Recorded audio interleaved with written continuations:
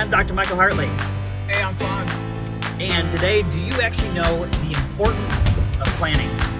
So, Fonz, real quick question. Like, when you look at planning, what are some things in life that you've really had to plan for? Well, when I was in college, I really had to plan for getting work done and planning for my time for when I actually have schoolwork and work because I still have to make money. Other times, planning's been really important. I come from construction, so the way construction works is you plan it out a few months ahead. You think who's going to go working on the property, and by the end of it, you should already have it on the real estate market and be thinking about your next job. What would what would construction be like if you didn't actually have a plan? it would be hectic. You you wouldn't know where to start. You wouldn't know what's next. You wouldn't have a realistic time frame, and all the workers and different contractors and employees would just be taking their time, coming and going as they please. So the the blueprint to building a house or whatever you might be building, super critical. Yes, literally, you need a blueprint to build a house. Have you seen how that uh, uh, you know uh, applies to life? Yeah, that applies to everything in life. You you want to become a doctor, you have to plan. What do you need to do? You need to go to school. You need to study certain topics. You need to plan. Okay, certain expenses. School isn't cheap. If it was cheap, everyone would be doing it.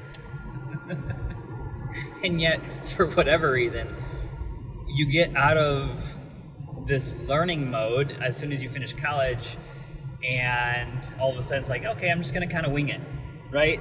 Life is like, okay, I got a job and at least uh, what I've seen. I'll actually cut it there. Most people, as soon as they get out of college, I'm gonna have a job, and most of it's a few months later. How do I get a job, or how do I get a job I want, or that makes sense for my degree? Which is planning going forward versus planning with the end in mind and working back. And when you do that, when it's the okay, well, I got, I just got to go get a job, right? I, I, finished this degree. Now what? I'm planning forward, and it's super, uh, you know, short-minded. You're not really thinking in the future. Okay, what's the next ten steps I got to go do? It's just, okay, well, I got to go do something today. Yeah, it's kind of the way you said it is there's steps that you need to set in place. Most people, it's kind of like, uh, I guess you would say, cause and effect. I graduated college. What's next? Versus going, this is where I want my life to end up being. Mm-hmm. How do I actually get there? Yeah, or what's my ideal job, or what's my ideal uh, employer? How do I make that possible? I've had the opportunity recently to be talking with kids in, you know, kind of junior, senior age in, in high school, and hundred percent of what they're thinking is, I'm gonna have to have a job one day. And what's interesting is when you actually get people to think bigger and go, well, what would life be like if you were the employer versus the employee? You may need to be an employee for a little bit because you got to go learn some stuff and grow and get experience and mature. With that said, though, if you actually went and got jobs or you know tried to be recruited into a job that would help you eventually become an employer, how different would you actually approach that's a mindset I would say most people don't have, or at least me growing up, most people didn't have. I know social media has kind of kicked things off to a different mindset within the past two to three years, where it's really gotten younger people thinking, how do I start my own business? How do I become my own boss? But most people, it's kind of just like, that's crazy, or you're only born rich, or you know what, it's one in a million, it's luck. It happens overnight for some people. No, it, realistically, I've learned in this new position I'm at is if you plan for it, it's totally achievable. It might not happen tomorrow, but it will happen. Most people, I know Dr. Hartley always tells me, most people overestimate what they can do in a year and underestimate what could be done in five to ten. And realistically, that's the way most people think. And I do catch myself thinking like that at times too. It's because most people are just focused on what do I need to do today. It's that short mindedness. And so, as an example, one of the things that we like to do with our clients is help them really think out 20 years in the future. Most people don't think, where am I going to be in 20 years? Where do I want to be in 20 years? Because a lot can happen in that time frame. So, you really start to think, okay, and, and there's a right and you know there's a right way to kind of process through that. And there's specific areas of your life that you really need to think through. It's not just like, oh, I just want to be here or there. It's it's a lot of different areas of, of life. Mm-hmm. And then it's a matter of going, okay, now that I know where I want to get to. What does the business now need to give me and be doing each year, quarter, month, week, day? And getting down to that level of granularity is critical uh, for testing and measuring and tracking purposes. So you know, okay, where are we off, where are we on point? Uh, now we're no longer planning moving forward. You see, that's where the importance of planning starts to kick in. Is when you actually have clarity on where I'm going, the destination. Now I can go. You know, we, we teach dream, goal, learn, plan, act. Dream, dream 20 years in the future. What what is the ideal life that you want? dream, then goal. What are the big milestones and goals that you need to achieve between now and 20 years from now to know that you're on target? And then you got to go learn a whole bunch of stuff. Because if you already know how to accomplish it, it's not a dream, it's not a true goal, it's just a to do item. So, and, and really, if you already know how to do it, you should just be doing it. So you gotta get to learn a whole bunch of stuff, and that could be from mentors, that could be from coaches, that could be from education or workshops or seminars or webinars or TED talks find people who are already at that level of life and go surround yourself with that individual they will push you towards it uh, one of my mentors brad he, he says you know very plainly dreams are the easiest way to weed out the morons in your life because when you actually share your dreams with somebody if they tell you oh yeah you're, you're dreaming too big that's never going to happen thanks next i don't Yeah. need you Yeah, you don't need that kind of negativity. You don't need that mindset in your life because everything is pretty. It's so cheesy, and I know it sounds like mumbo jumbo, but pretty much mindset is what will determine your outcome in life. If you think you're a dumbass, just a lazy piece of crap, that's pretty much all you're gonna be because that's how you see yourself. You see yourself confident. You see yourself smart. You start becoming that person. I'm not saying be cocky and say you know it all, even though you don't but slowly start learning who it is you want, who it is you are, and who it is you want to become. There you go. That's really well stated. Who you want to become. And when you actually share those dreams and you find people to surround yourself with that will push you towards them, now you actually can make progress. And especially in business, as a business owner, you know, oftentimes it's one of the loneliest jobs in the world is being a business owner Totally agree. you can't necessarily sh- share your weakest moments with your team and things because, well, they're your team, right? And you don't necessarily want to bring it home because that's not good either. And so you have to surround yourself with people who have been there, who have walked through those shoes before, who can help guide you through those situations. So when we talk about the importance of planning and do you actually know the importance of planning, this is why. You got to have that end destination in mind. Surround yourself with people that are going to help you learn the things you don't know, that close that gap, and then you can go create the plan. Now we can sit together and we can go, okay, what's the plan to get us there? All the way down to what needs to be done this quarter, all the way down to what needs to be done this month, this week, down to the day.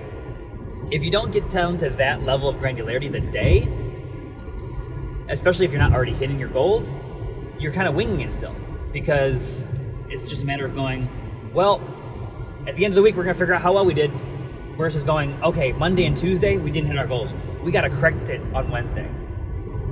I I have one question for you. What's the one thing that anybody can do to be able to start being on that track of planning? Simple thing. Doesn't matter if you're a billionaire or just a kid in middle school or high school right now.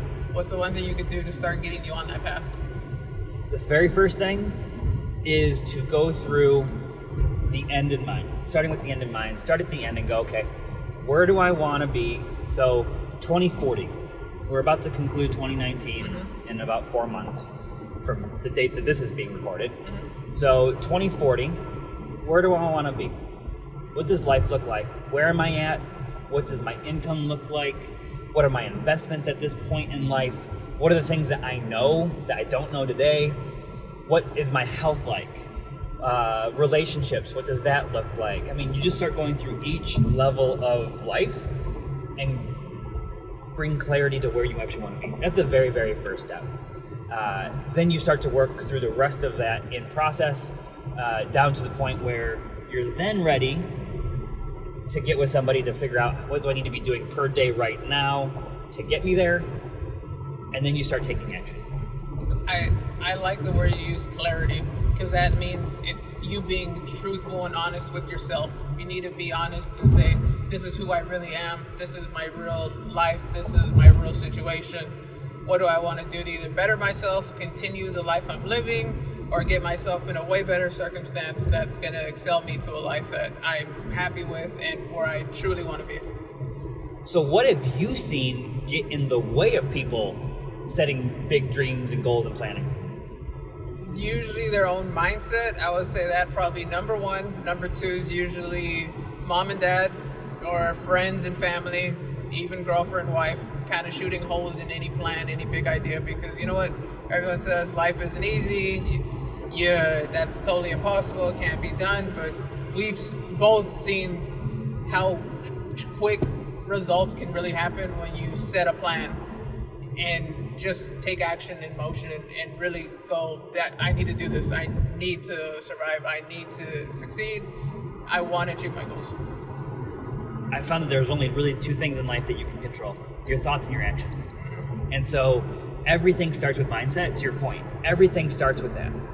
And you know, what's like what's one thing that we start with when it comes to shifting your mindset? I am statements. Absolutely every single day. Positive reinforcement of current or future tense of going, I am blank, or I'm in the process of filling that blank. Then you get to the the other part that you can control, which is your actions. I, I coach people every single week on going, you either, if you're not achieving your goals, you either have a bad plan or a lack of action. You can have the best plan in the world and no action, nothing's going to take place. You can have the worst plan in the world with a ton of action, and now you're going in the wrong direction. So you got to have both a good plan and good action. And yeah, it really is. You just start to go, okay, progress over perfection. Consistent progress. Even if I'm like, if I shoot for here and I end up hitting here, mm-hmm. and before I even set the plan, I was here, that's still progress. Yeah, you still, you still, you totally didn't hit the goals that you set place, but you're halfway there. You're almost there. You made a step further. Absolutely. And what you'll start to learn through that process is then how to break through the barriers and roadblocks that caused you to miss the goals. So, you know, you look at the best athletes in the world, they didn't start by hitting every single shot. They didn't start by being the person to hit all the buzzer, buzzer beaters in, in basketball or throwing the Hail Marys at the end of a football game and things like that. That's not where they started they started by setting, okay, that's where I want to be. I want to win championships and stuff like that. And so this year I'm going to focus on I'm, I'm, shooting for it and if I if I'm short, now I can learn from it. Mm-hmm. 5 years down the road, now I'm winning championships because now I've learned how to break through those barriers and stuff like that. And business is no different. So mindset is a skill set. You got to focus on things like I am statements and whatnot to shift your mindset. Then you got to create big dreams. Where are we going with this whole thing? Set the goals, the milestones to get you there. Work with somebody on how to actually learn the gaps to close them, and then you create the plan and take action. Totally. So, when you look at do you actually know the importance of planning? This is it. The importance of planning is to know where you're where you're going, where you're headed, how to get there, and then you need someone to hold you accountable to actually taking action very few people are good at coaching themselves. Most people need accountability and things like that, anyways. Everyone needs accountability. Whether it's you holding yourself to a certain standard or having the person right next to you holding you to a standard, everyone needs accountability. So the question becomes who's doing that for you? I'm Dr. Michael Hartley. I'm Fonz. And this was an episode of Do You Actually Know? Do you actually know the importance of planning? I hope you see it now, why it's important, you have some critical steps now, go take action.